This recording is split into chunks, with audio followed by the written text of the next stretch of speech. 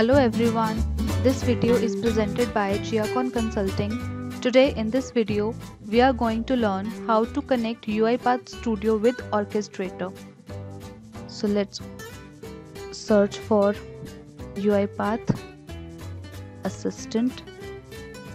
Open this. Let's go to Preferences.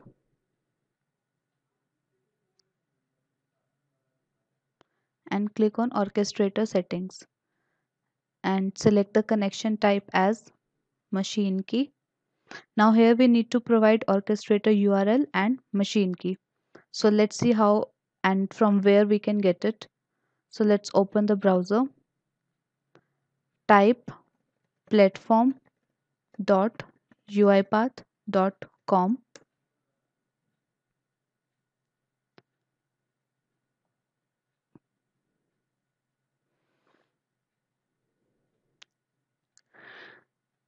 let's select continue with google. You can select any of the option.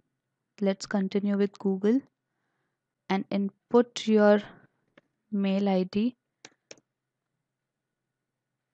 provide the password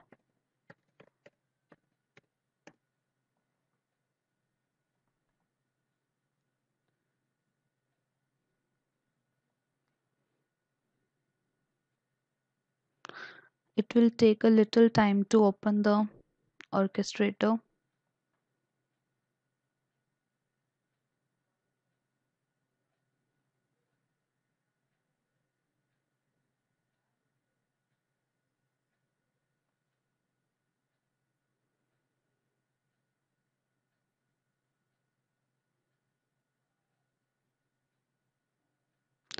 Now click on admin click on orchestrator.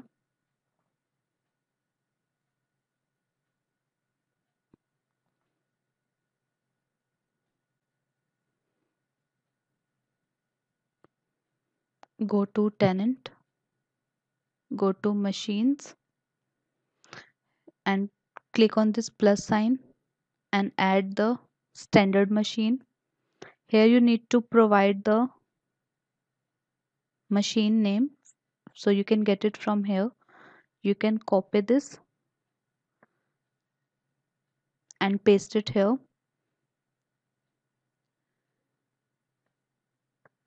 You can select the license one and then you can click on provision. When you give the machine name here so it will get this provision option will get enabled and then you can click on this to add the machine.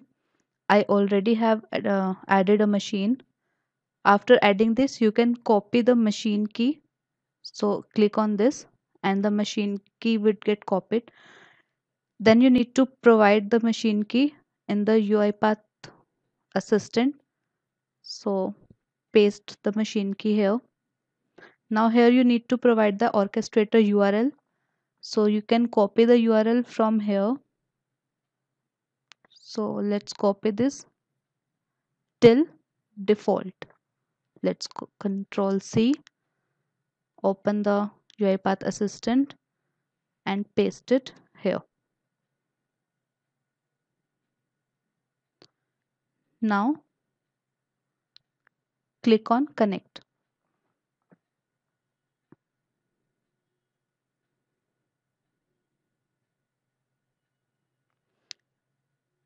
Now the status is showing connected and licensed so this is the way how we can connect UiPath Studio with Orchestrator.